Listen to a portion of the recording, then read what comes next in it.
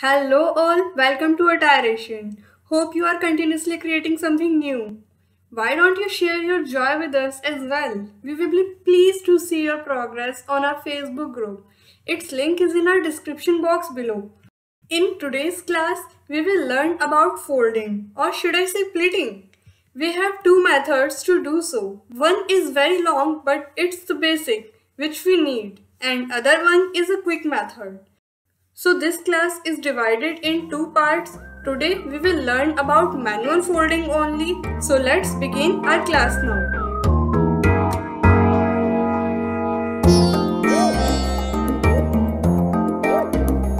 First, we will make a square. It will be 10 by 10 in size.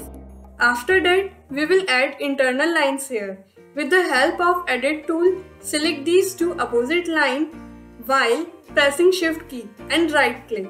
Select the required option from here. Distribute internal line between the segments. Now we will add the lines here. We don't need much, just 4 lines. Now we will pin this area to avoid any problem during simulation. And solidify this as well.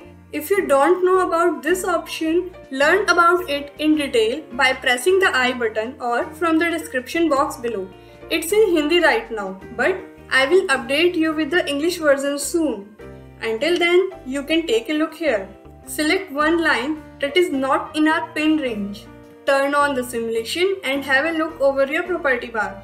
Here, you can see various options related to fold strength, fold angle, and visibility of fold lines. We will learn about all these one by one. First, we will see fold angle. Make this value 0 first and simulate it to see the result.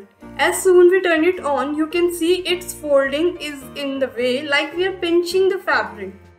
Now, what will 360 do?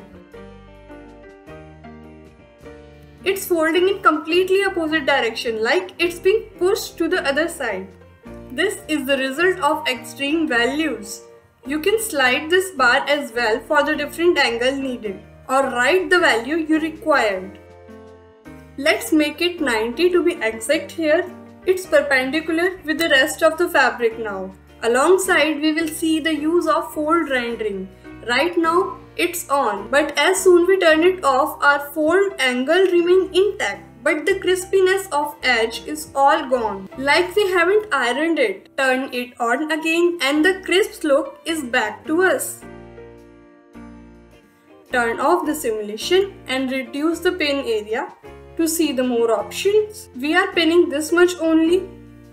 Simulate it and change the angle of other line too. This one is 90 so the opposite of it is 270. Let's see the result. We have two perpendiculars now which is creating staircase in 3D window. Now it's time to move on to our next option which is fold strength. Select this line, make this value completely zero. Here is a tip for you guys. The best way to see the working of any tool is to write the maximum and minimum value of it, by which you can see the difference yourself. It's in simulation mode now. We will try to stretch the fabric. As you can see, we still have the angle, but it's not that rigid. It is unable to keep it angled at 90. Select the line again and try 100 now. See, as soon we increase this value, our fabric become rigid to retain the original angle we set earlier. Now, if we pull this fabric, it will move but won't change its angle after releasing the fabric. This is the objective of fold strength. As we are discussing about folding methods, let's explore one tool of 3D window which also help in folding the fabric. In our 3D panel, we have fold arrangement tool. This is the simplest way to fold the line manually. To use this, you have to select a line to activate this tool. Then you will see two arrows inside a circle.